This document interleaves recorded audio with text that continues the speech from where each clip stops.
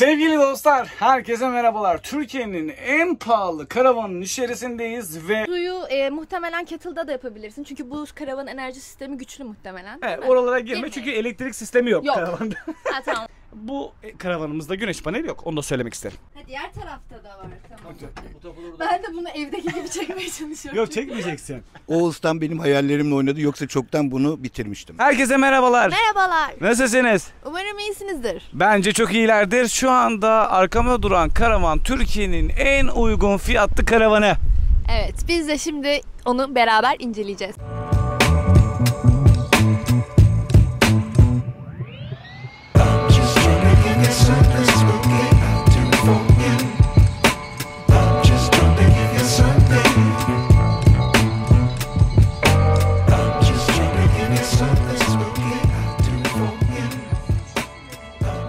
Dostlar bu arada her bir karavana girdiğim zaman farklı bir heyecan kaplıyor beni açıkçası. Çünkü her bir karavanın ayrı bir hikayesi var. Herkesin ayrı umutları var bakıldığı zaman.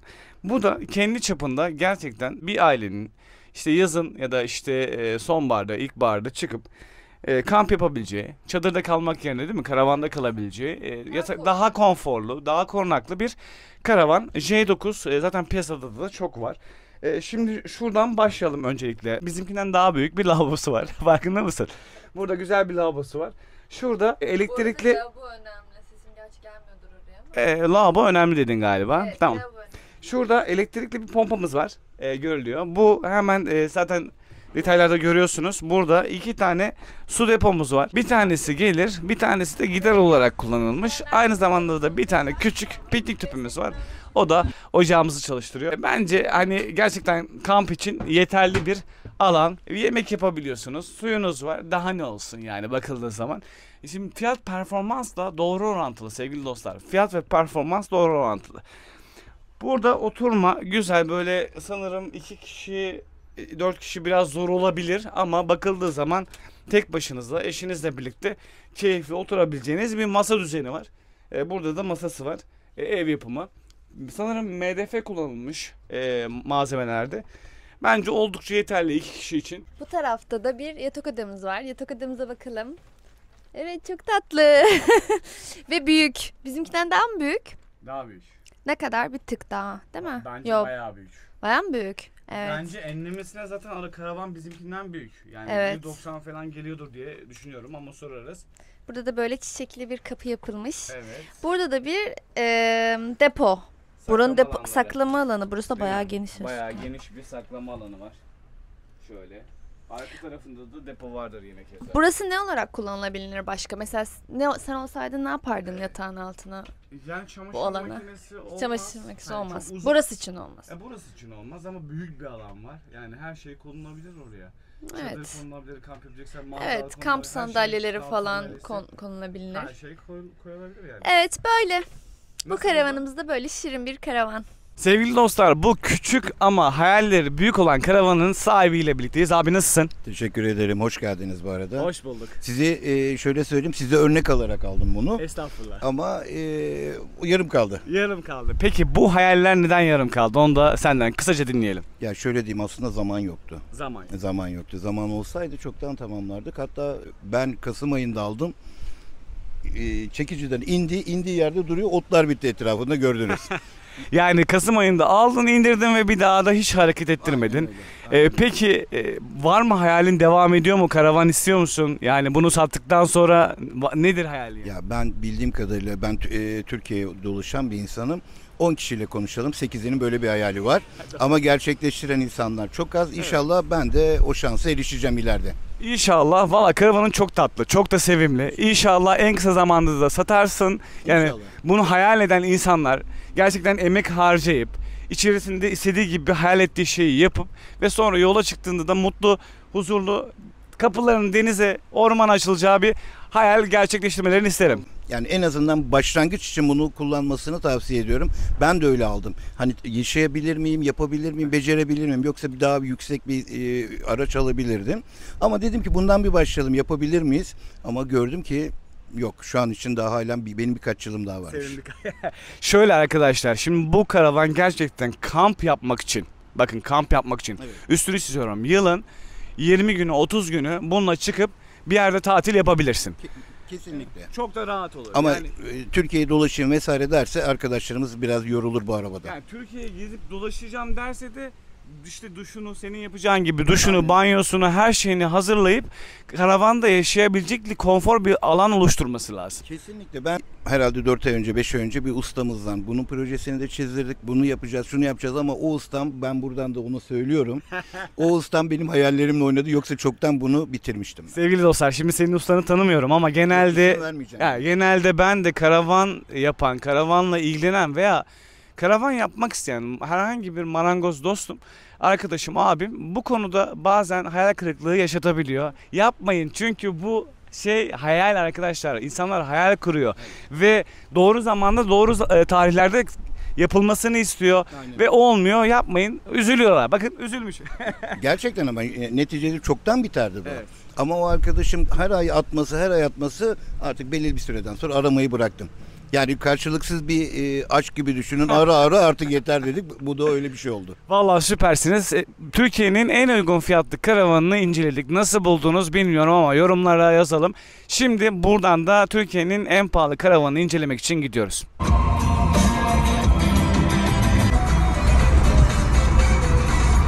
Sevgili dostlar şu anda ikinci karavanımızın yani Türkiye'nin en pahalı karavanlarından bir tanesinin yanındayız. Ve bu karavanı inceleyeceğiz. Nasıl buldun karavanı? Çok güzel, muhteşem. İçeride özellikle beğendiğim bazı alanlar var. Evet. Ee, oraları ben tanıtmak isterim. Tamam mesela neresi? Mesela banyo. Çünkü arkadaşlar bizim karavanımızda banyo biraz küçük ve yetersiz. Ama yakın zamanda biz de kendi karavanımızla ilgili bir değişiklik yapabiliriz. Bu da size sürpriz olsun. Ama Türkiye'de artık Avrupa karavanları da bulabiliyorsunuz. Bu da Avrupa karavanlarından bir tanesi. Özelliklerini ve iç kısmını dış kısmını en güzel şekilde anlatacağız. Hazır mısın? Hazırım. O zaman başlayalım.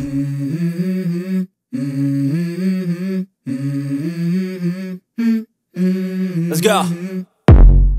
I wake up to a little bit of drool on my pillow, feel like it's gonna be a bad day.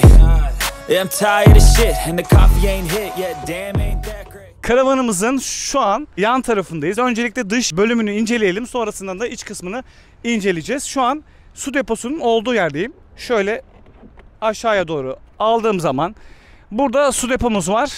Bu gördüğünüz su deposu ortalama 95 litre e, su alıyor.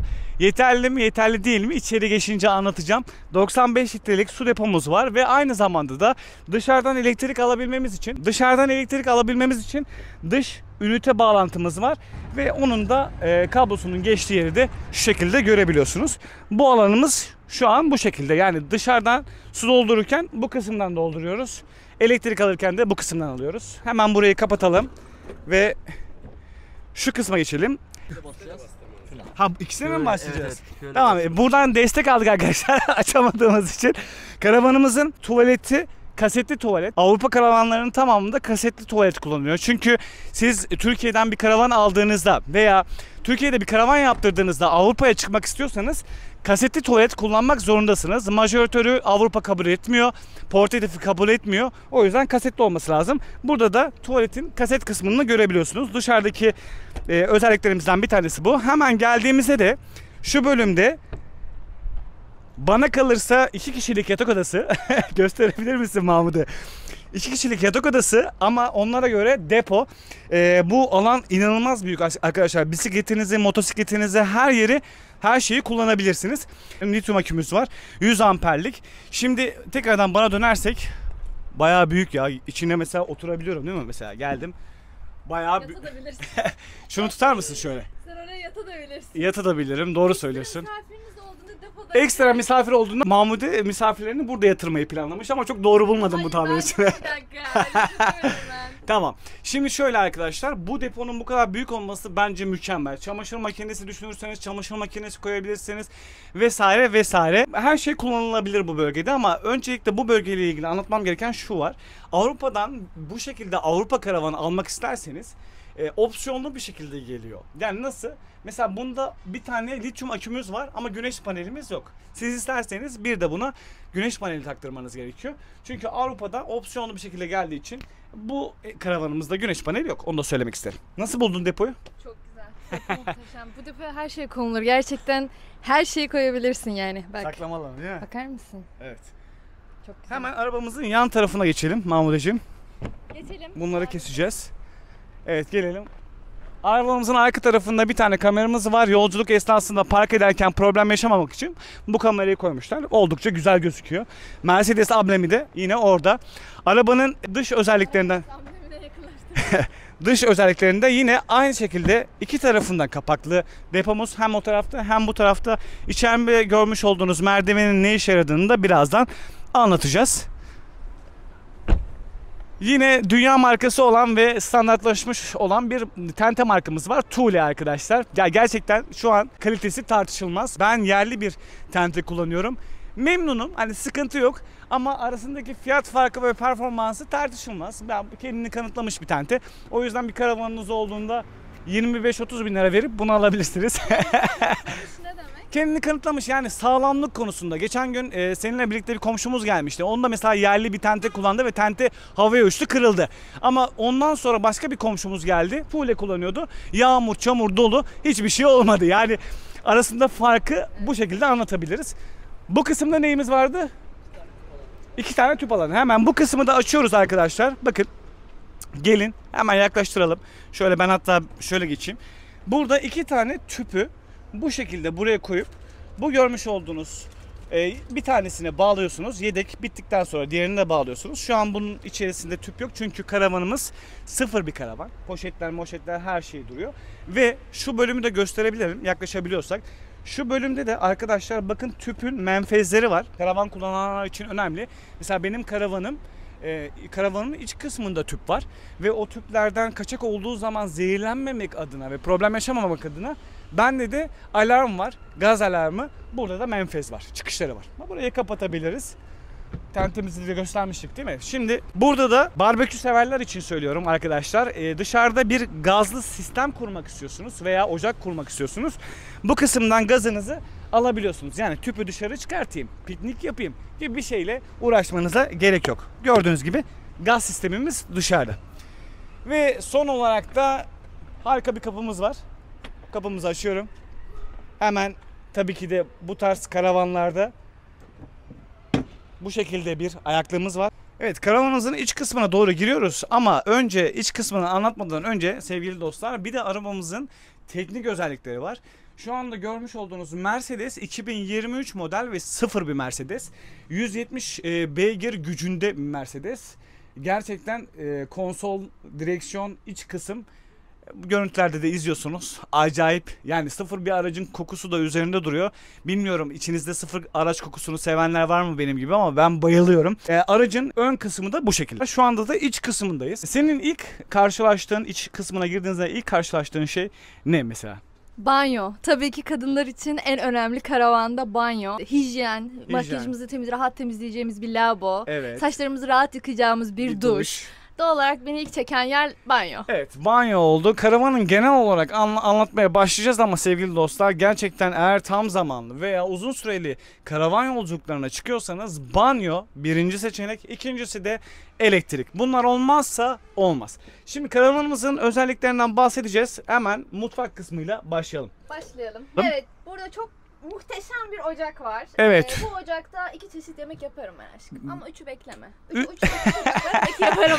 Ben sana bir şey söyleyeceğim. 3 tane de yemek yapılır yani. Bir yerde Yani su zor, kaynatırsın. evet. Mesela biz en büyük problemi şöyle yaşıyoruz. Ee, pilav yapacağız. Bir tarafta su kaynatmamız lazım. Diğer tarafta yemek pişirmemiz lazım. Olmuyor ama 3 ocak bence mantıklı. Olur. Burada bir de suyu e, muhtemelen kettle'da da yapabilirsin. Çünkü bu karavanın enerji sistemi güçlü muhtemelen. Evet, mi? oralara girme Girmeyin. çünkü elektrik sistemi yok, Yok. karavanda. Ha tamam okey. Evet. evet tamam keseriz orayı. Keseriz. Böyle ocağımız bu şekilde. Domatik marka e, bir ocak arkadaşlar. E, cam bir korumasıyla birlikte. Burada bir evyemiz var. E, Kadınlara sormak istiyorum. Sizce tezgah yeterli mi? Kadınlara soruyorum. Kadın- Yazın yorumlara. Sizce tezgah sizin için e, karavanda yeterli mi? Senin için Bu tezgah. yeterli mi? Benim için yeterli sayılır. Çünkü şurada da bir alan var. Evet arkadaşlar şurada bir gördüğünüz Bu gibi. alandan dolayı yetebilir. Evet ben yetiririm. ben yetiririm diyor.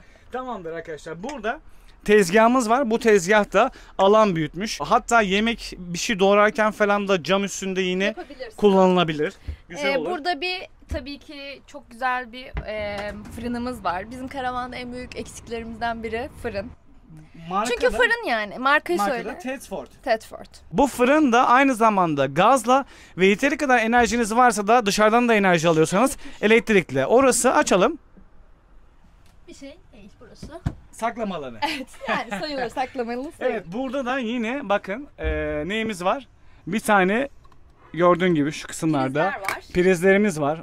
Hemen onları detay çekeceğiz unutmayalım. Burada yine bir dolabımız var. Gördüğün Evet. gibi geniş ve güzel.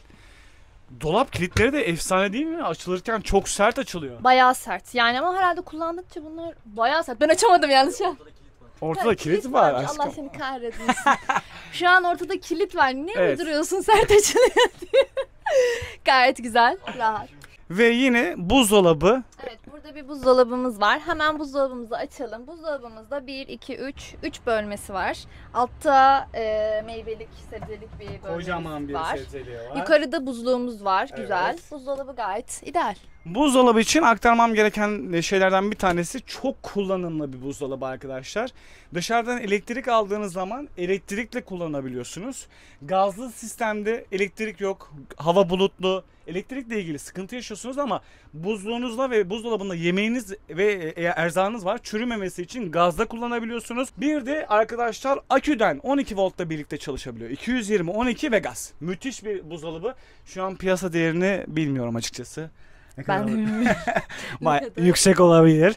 Ama e, tabii ki de bir karavan Evet. için tam zamanlı. Şu an 45 bin lira civarında. E, piyasa değeri 45 bin TL civarındaymış ama gerçekten hani tam zamanlı yaşayacaksanız ve bir, değer, değer. bir eviniz yoksa değer arkadaşlar verin verin. Evet.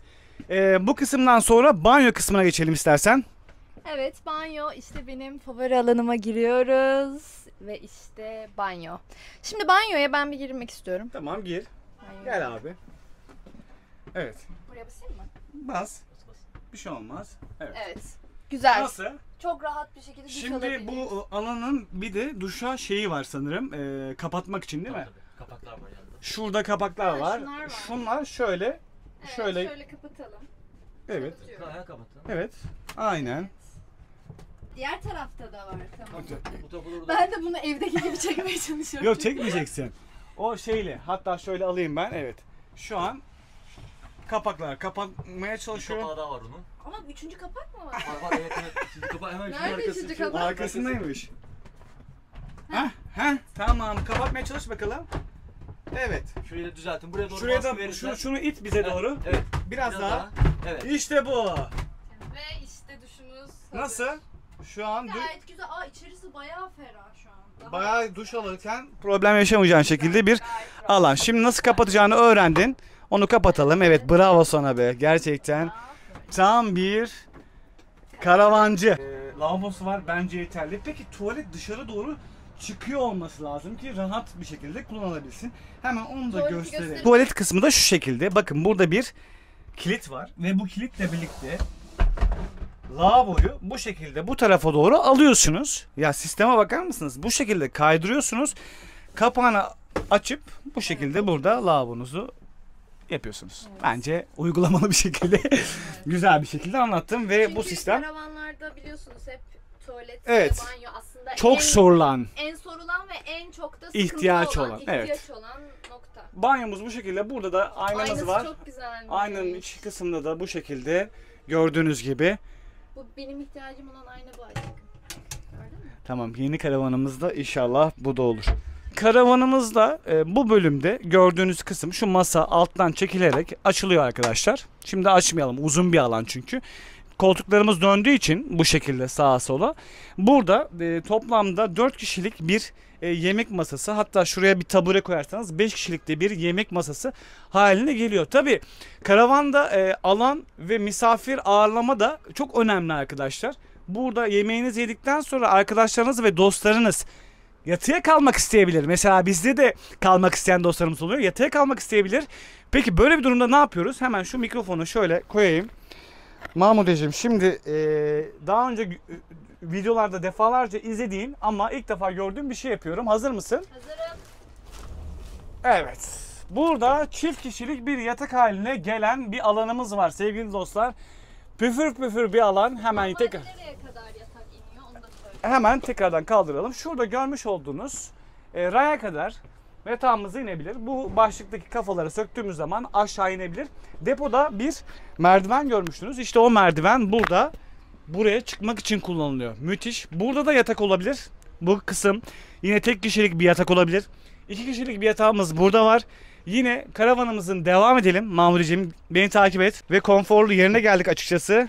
Şöyle oh Gördüğünüz gibi bir kişilik burada, bir kişilik burada. İsterseniz şu ortadaki kısım bakın buraya doğru geliyor. Gördünüz mü? Şu kısım böyle açılıyor ve şu ortadakini buraya alıyorsunuz. Burası çift kişilik bir yatak oluyor ama ben e, az önce bu yatağı gördüğümde dedim ki burada 4 kişi yatılır. Survivor. Yani şöyle yan yan yan 4 kişilik yata- yatılır diye düşünüyorum. Yine burada bu karavanın en güzel özelliklerinden bir tanesi klima arkadaşlar. 12 voltta çalışan domatik bir klimamız var. Yani yazın neredesiniz? 48 derecedesiniz, 50 derecedesiniz fark etmiyor. Klimanızı açıyorsunuz, kapınızı, pencerenizi kapatıyorsunuz ve ortamda, güzel bir ortamda serin bir şekilde vakit geçirebiliyorsunuz. Ve çok ihtiyacım var. Evet bizim de şu an ihtiyacımız var ama bizim karavanda bunu nereye koyarız nasıl olur bilmiyorum. Hatta Elektrik ne kadar yani bu neyle mesela? 12 voltta çalışıyor. Çok güzel. 12 voltta çalışması zaten büyük bir nimet. 220 ile çalışsaydı çok uzun süreler bunu çalıştıramazdı. 12 volt olması muhteşem ve şurada e, özel alanları korumak için hemen gösteriyorum. Bir perdesi var. Bakın burayı bu şekilde özel bir alan haline getirebiliyorsunuz. Yani misafiriniz geldi, arkadaşlarınız ön tarafta uyuyor, siz de burada uyuyorsunuz. Burayı özel bir zon haline getirebiliyorsunuz. Nasıl buldunuz karavanın arka kısmını da? Vallahi muhteşem gözüküyor. Bir de yine güzel bir detayımız var. Onu da hemen anlatalım. Genelde bu tarz karavanlarda depoda bir şey almak istediğiniz zaman aşağı inmeniz gerekir ama bu yatağın alt kısmında depoya ulaşabileceğiniz bir boş alan var. Burada da saklama alanları var. Nasıl? Kadınlar için. Sadece kadınlar için olmaz. değil bence. Erkek iç- erkekler için de, kadınlar Yani için de. kadınlar için, erkekler için evet. Şurada bir tane burada, bir tane yine burada. Sanırım? Evet, kocaman bir Bayağı saklama geniş, alanı. bayağı Yani geniş. bayağı geniş. Ben. Evet, teker üstü saklama alanları. İşte ki buraya çamaşır makinesi bile ko- konulabilir. Kıyafet dolapları şuradakiler sanırım. Orada da dolaplarımız var gördüğünüz gibi. Kitaplık vesaire vesaire bir şeyler Oralarda koymak var, isterseniz yine oralarda da mevcut. Yani yine ön tarafında bak hemen çevirelim. Burada da gördüğün gibi Dolaplar var. dolaplarımız Buraya değil. mevcut. Ben kıyafet. Ben, ben, ben benimse bu karavan. Bütün dolaplar kıyafet içindir. yani hepsi böyle full baştan Ve aşağı. şurada görmüş olduğunuz televizyon işte böyle bu şekilde bu tarafa doğru gelebiliyor, kayabiliyor. Bakıldığı zaman karavanın iç kısmı bu şekilde. Nasıl buldun karavanı? Çok güzel. Gerçekten çok güzel. Hemen sana Konforlu. fikirlerini sorayım. Evet, döndürelim. Karavanı nasıl buldun? Çok konforlu. Bir kere en başta e, karavanı saklama alanları çok geniş. Bu benim için artı. Banyosu çok güzel. Banyosu geniş benim için artı. Aynası var. Kendim için artı olanları sayıyorum ben şu an sadece. E, banyosunun aynası geniş, çok güzel, ferah bir hem bir ferah bir görüntü hem de e, rahat bir şekilde hazırlanabileceğiniz bir alan. E, mutfakta benim için artı fırın var. Fırın çok güzel. E, gerekli. Her hanımın bence elinin altında olmalı fırın. Onun dışında yatak bayağı geniş ve güzel ama benim favori parçam karavandaki bu klima. Çünkü hava çok sıcak şu anda da ve bu sıcak havalarda sadece klima düşünüyoruz. Ondan dolayı ben bu karavanı çok sevdim. Sevgili dostlar, yani Türkiye'nin en ucuz karavanı ve Türkiye'nin en pahalı karavanını incelediğimiz bir video oldu.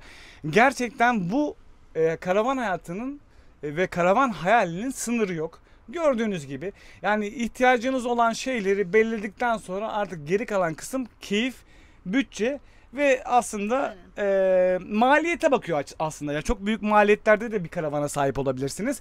Çok uygun maliyetlerde de orta seviyede de olabilir. Biz bugün bu iki karavanı incelerken de çok keyif aldık. Evet çok güzeldi.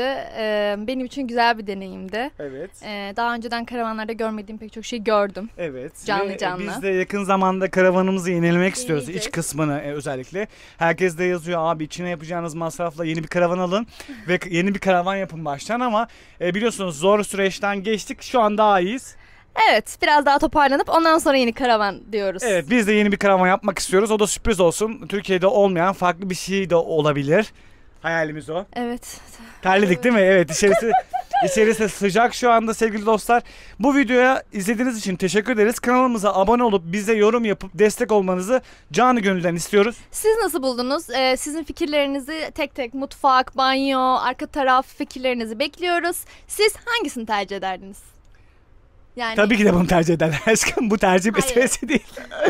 yani e, şimdi diğer e, karavanımızı da üzmeyelim açıkçası. Hani diğer karavanımıza. Siz öyle olsanız demeyelim de e, onu söylemeyelim. Sen, evet, o, sen şey de bizi kanal, kanalımıza abone olup beğendiniz takip mi diyelim. Siz bu karavanımızı nasıl buldunuz diyebilirsin. Evet. Siz bu karavanımızı nasıl buldunuz? Hoşçakalın sevgili dostlar. Bir sonraki videoda görüşürüz. Görüşmek üzere.